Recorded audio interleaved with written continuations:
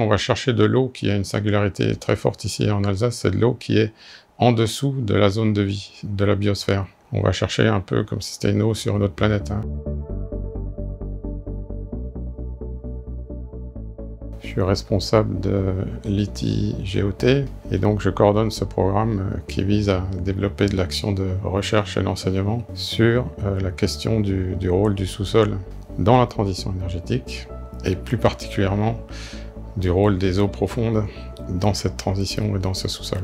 Donc là, un grand enjeu de transition énergétique, c'est d'utiliser le sous-sol pour des énergies renouvelables. Et la principale énergie renouvelable aujourd'hui en termes de ressources, euh, c'est l'eau profonde, une ressource abondante dans le sous-sol alsacien, qui fait qu'on est un territoire assez pionnier dans l'utilisation de ces ressources-là. Il faut euh, assurer le transfert depuis cette zone en dehors de la vie passer à travers les, zones euh, qui peuvent être impactées par la vie et respecter ces, ces, zones de vie pour éviter des pollutions ou des impacts environnementaux. Cette eau profonde, elle est aussi fortement impliquée dans la possibilité de générer des tremblements de terre.